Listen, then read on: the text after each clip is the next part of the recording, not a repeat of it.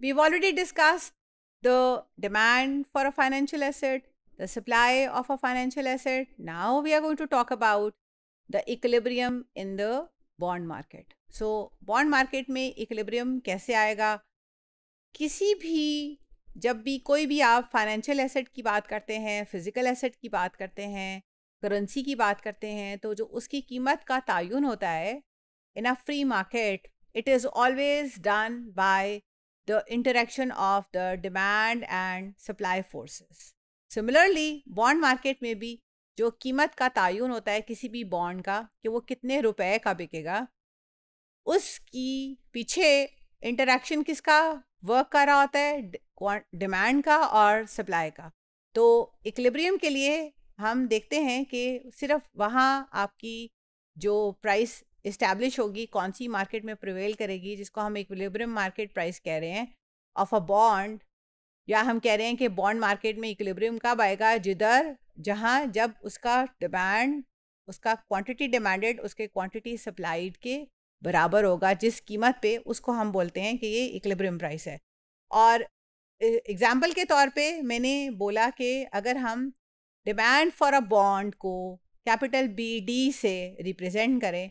और supply of a bond को अगर आप कैपिटल बी और साथ एक छोटा सा एस सब्सक्रिप्ट के तौर पे लिख लें तो वो पॉइंट जिसके ऊपर demand for bonds supply of bonds के बराबर होगी, उस पे जो भी आपकी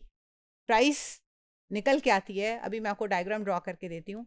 तो आप उसमें देख सकते हैं कि that will be declared as the equilibrium price and we need to make it sure जब हम इक्लेब्रियम प्राइस की बात करते हैं तो उसके कॉरस्पॉन्डिंग एक सर्टन इंटरेस्ट रेट भी होगा। क्योंकि इंटरेस्ट रेट हमने बोला कि ये इक्विलिब्रियम प्राइस है, इसके ऊपर ये कॉरस्पॉन्डिंग इंटरेस्ट रेट है और इंटरेस्ट रेट के फ्लक्चुएशन से भी आपकी इक्विलिब्रियम प्राइस के अंदर कमी और बेशी हो सकती है, क्योंकि उससे इंटरेस्ट रेट के कम या ज़्यादा होने से आपकी बॉन्ड की डिमांड और सप्लाई के ऊपर इफ़ेक्ट आएगा तो आपकी प्राइस चेंज हो जाएगी। तो हम अगर एसेट मार्केट अप्रोच की को फॉलो करते हैं और इसमें एक अहम बात को आपने कंसिडर करना है वो ये है कि हम जब फाइनेंशियल एसेट की बात करते हैं तो वेरिएबल्स फ्लो भी होते हैं, वेरिएबल्स स्टॉक भी होते हैं, फ्लो वेरिएबल्स वो होते हैं जिनको हम over a period of time मायर करते हैं, स्टॉक वेरिएबल्स होते हैं जिनको हम पॉइंट इन टाइम के ऊपर मायर करते हैं। तो जब हम फाइनेंशियल एसेट की बात कर रहे हैं तो इनको हमेशा हम स्टॉक वेरिएबल के तौर पे कैलकुलेट करते हैं या सेस करते हैं तो whenever we are talking about the quantity demanded quantity supplied of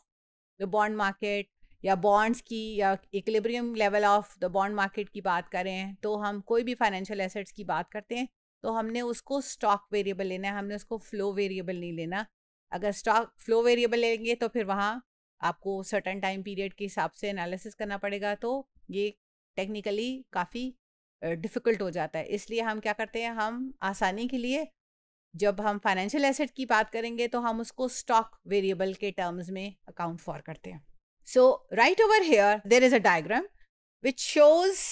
negatively sloping demand curve as you can see हमारे पास यहाँ एक नेगेटिवली स्लोपिंग डिमांड कर्व है और उसके साथ ही में यहाँ पॉजिटिवली स्लोपिंग सप्लाई कर्व है। Demand curve demand for bonds at different prices बता रहा है। और हमने क्वांटिटी ऑफ़ बॉन्ड्स ली हुई है एक्स एक्सिस के ऊपर।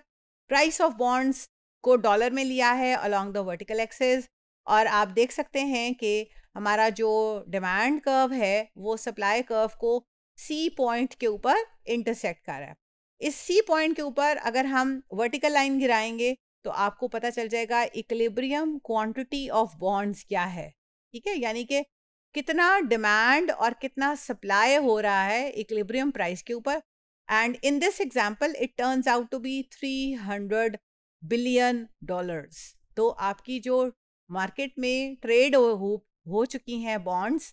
इक्लिब्रियम प्राइस के ऊपर उनके वॉल्यूम है 300 बिलियन डॉलर्स अगर हम इसके कॉरेस्पॉन्डिंग इक्लिब्रियम प्राइस देखें ये वो इक्लिब्रियम प्राइस है जहाँ आपकी क्वांटिटी डिमांडेड क्वांटिटी सप्लाइड के इक्वल है। तो उसके कॉरेस्पॉन्डिंग जो हमें प्राइस मिला है that is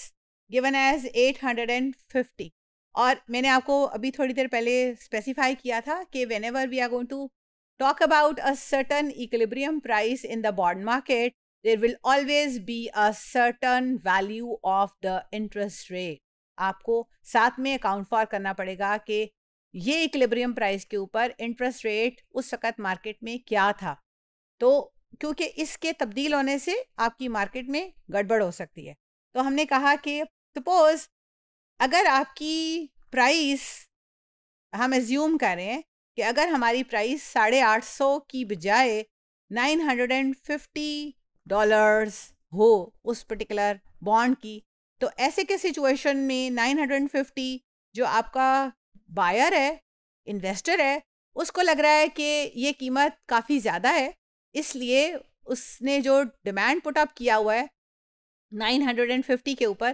that is quite low और इस डायग्राम के मुताबिक उसको हम ए पॉइंट से देख सकते हैं which corresponds to 100 billion dollars तो आप देख सकते हैं कि ज़्यादा कीमत होने की वजह से आपका जो डिमांड है of bond that is quite low given by point A मगर चूँकि कीमत ज़्यादा है तो जो सप्लाई है दैट इज़ क्वाइट हाई और उसके लिए हम देख सकते हैं कि उस पॉइंट को हमने लेबल किया है as point I and this corresponds to 500 billion dollars तो आपका सप्लाई जो है, अगर कीमत 950 हो जाए किसी बॉन्ड की, इस एग्ज़ाम्पल के मुताबिक तो आपकी सप्लाई काफ़ी ज़्यादा है और आपका डिमांड काफ़ी कम है। तो there would be an excess supply of bonds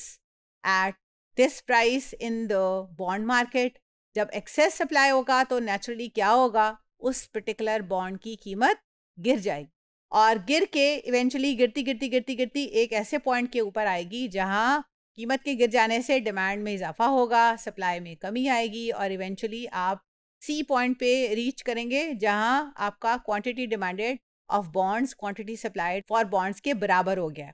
इसी तरह से अगर हम ज्यूम करें टू स्टार्ट ऑफ़ विथ के जो कीमत है किसी भी फाइनेंशियल इंस्ट्रूमेंट की या बॉन्ड की वो काफ़ी लो है मार्केट में, यानी कि वो 750 डॉलर है। इस सिचुएशन में जो सप्लायर है ऑफ़ द बॉन्ड, वो इज़ नॉट हैप्पी। और इसके कॉरस्पॉन्डिंग हमने ज्यूम किया कि कीमत के कमी होने की वजह क्या है कि आपका जो इंटरेस्ट रेट है, आप देख सकते हैं that is quite large that is quite high कि इंटरेस्ट रेट आपको यहाँ देखने को मिल रही है which is thirty three percent हमने ज्यूम किया है, ठीक है?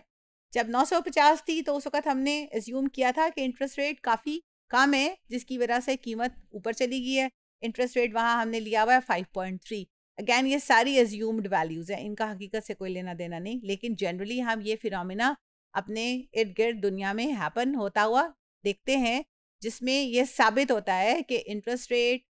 किसी भी फाइनेंशियल इंस्ट्रूमेंट की प्राइस इन्वर्सली रिलेटेड है और आप उसको इस पर्टिकुलर इलास्ट्रेशन की मदद से भी देख सकते हैं। So when the interest rate was thirty three percent the price was 750 dollars the price was considered to be very low इस वजह से जो डिमांड फॉर बॉन्ड है दैट इज़ 500 बिलियन डॉलर लेकिन सप्लाई इज़ ओनली 100 तो there is a shortage of 400 billion dollars ये 400 billion dollars की जो शॉर्टेज है,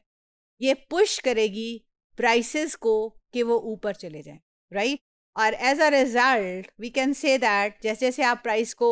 देखते हैं, ऊपर जाता हुआ, वैसे वैसे आप देख रहे हैं कि आपका जो इंटरेस्ट है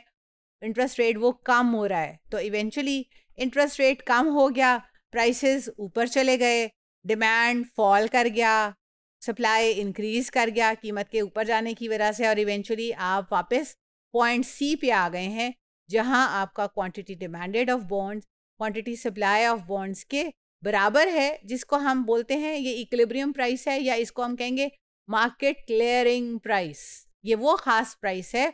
जिसके ऊपर आपका डिमांड और सप्लाई की क्वांटिटीज़ एक दूसरे के बराबर हैं। तो हम इसलिए इसको बोलते हैं कि इक्विलिब्रियम प्राइस है, और जब तक कोई नया शॉक या चेंज नहीं आएगा मार्केट में, हुकूमत सपोज़ इंक्रीज़ कर देती है इंटरेस्ट रेट को, या डिक्रीज़ कर देती है, या कोई भी और फैक्टर जो कि डिमांड या सप्लाई को चेंज कर सकता है। जब तक वो तब्दीली नहीं आएगी एक्सटर्नल फैक्टर्स में, तब तक ये इक्विलिब्रियम यहाँ मेंटेन रहेगा। So, it will continue to be like this until and unless there is an external shock which will change either the supply और द डिमांड और द इंटरेस्ट रेट। इन तीनों में से जो भी चीज़ चेंज होगी, आपका इक्लिब्रियम का पूरा सेटअप फिर रीसेट होगा और इवेंचुअली वो इस तरह से किसी और लेवल के ऊपर जाके या इसी वापस इसी लेवल के ऊपर जाके सेट हो जाएगा।